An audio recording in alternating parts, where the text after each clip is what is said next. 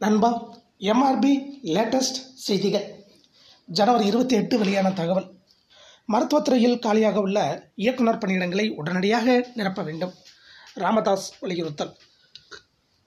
பாட்டாளி மக்கள் கட்சி நிறுவனர் ராமதாஸ் தனது ட்விட்டர் பதிவில் கூறியிருப்பதாவது மருத்துவத்துறையில் மொத்தமுள்ள ஆறு இயக்குனர் பணியிடங்களில் மருத்துவ கல்வி இயக்குனர் மருத்துவ சேவைகள் இயக்குனர் மருந்து கட்டுப்பாட்டு இயக்குனர் இஎஸ்ஐ இயக்குனர் ஆகிய நாலு இயக்குனர் பணிகள் காலியாக உள்ளன.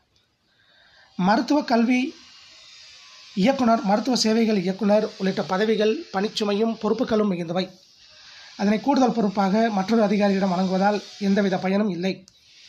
குறிப்பாக கீழ்ப்பாக்கம் டீன் மருத்துவக் கல்வி இயக்குனர் பதவியை கூடுதலாக கவனிக்கிறார்.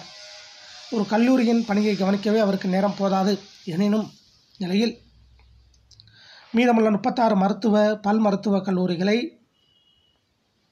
அவரால் எவ்வாறு கண்காணிக்க முடியும் எனவே மருத்துவத்துறையின் முக்கியத்துவத்தை கருத்தில் கொண்டு காலியாக உள்ள நாலு இயக்குனர் பணியிடங்களையும் அரசு உடனடியாக நிரப்ப வேண்டும்.